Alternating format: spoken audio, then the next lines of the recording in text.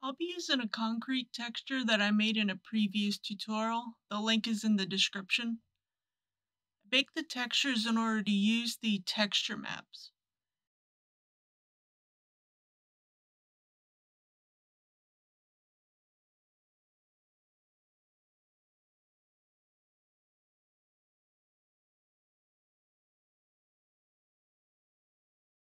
In the Package Management tab, I drag and drop the maps I baked out in the previous tutorial.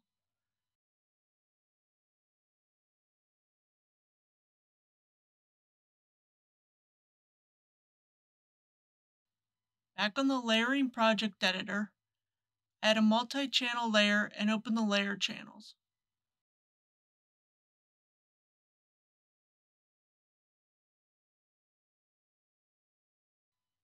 Use the image resource for each map and bring in the texture maps.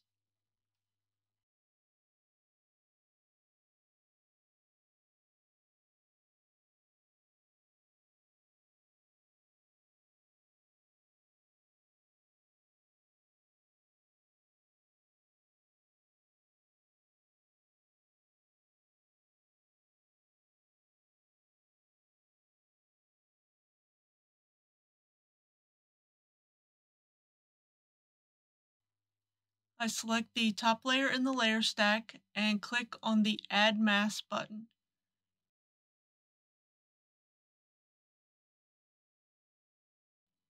When I see the pop-up menu, I choose the Mesh Edge Wear Mask.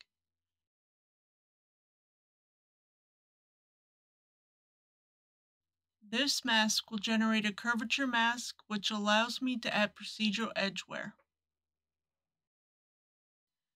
I changed the mode of the curvature mask from edges to both so I can use both edges and cavities. I can see an edge wear being applied to the curvature map.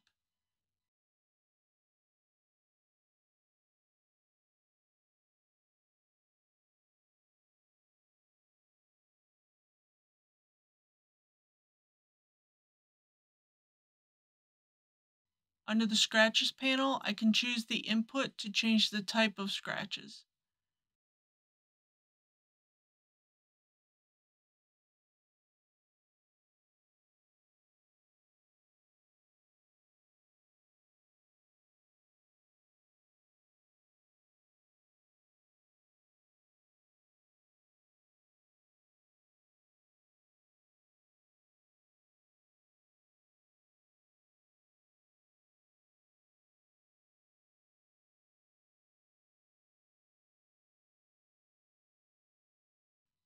If I change the blending mode to vivid light, I can easily see the edge wear on the 3D object.